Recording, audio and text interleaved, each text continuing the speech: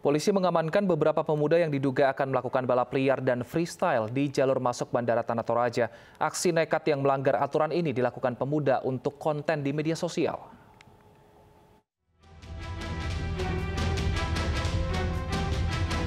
Demi konten di media sosial, para pemuda ini membahayakan diri mereka. Pemuda melakukan freestyle dan balap liar di jalur Bandara Tanah Toraja, Sulawesi Selatan. Aksi nekat ini telah dilakukan berulang kali, bahkan aksinya dilakukan dari malam hingga pagi hari. Maraknya aksi viral ini pun meresahkan masyarakat. Polisi akhirnya melakukan patroli rutin dan mengamankan sejumlah pemuda.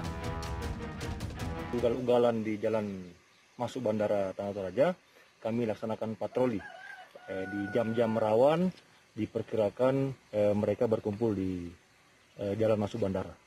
Nah, nah ini sampai kapan upaya ini akan dilakukan, Pak? Setiap hari, setiap hari. Pada saat jam-jam rawan, baik pagi, sore, eh, tim dari eh, Turjawali kami laksanakan patroli. Nah, ketika ada yang ditangkap, nantinya akan diberi sanksi seperti apa? Kita akan berikan sanksi tilang. Hmm. Polisi mengajak warga serta tenaga pendidik untuk mengawasi gerak-gerik pemuda agar tidak melakukan aksi nekat yang meresahkan warga. Dari Tanah Toraja, Sulawesi Selatan, Jufri Tonapa Ainus melaporkan.